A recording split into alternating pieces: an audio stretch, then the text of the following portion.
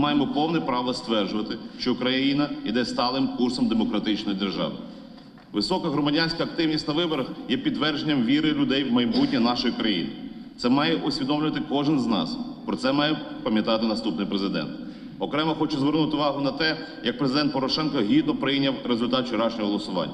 Також хочу наголосити на персональному внеску Петра Порошенка у ті позитивні і небувалі перетворення, які пройшла Україна попередні п'ять років. Від себе особисто, від фракції Народного фронту і від лідера Народного фронту Арсенія Ценюка хочу подякувати Петру Порошенку за п'ять років спільної праці.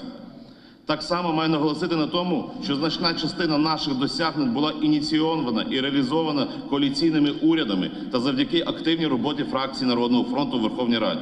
Безвіз, енергетична незалежність, захист української мови, протидія російській пропаганді, санкції проти Росії, макроекономічна і фінансова стабільність, пріоритетне фінансування українського війська, реформа освіти і МВС це ті результати, якими завжди буде пишатися Народний фронт.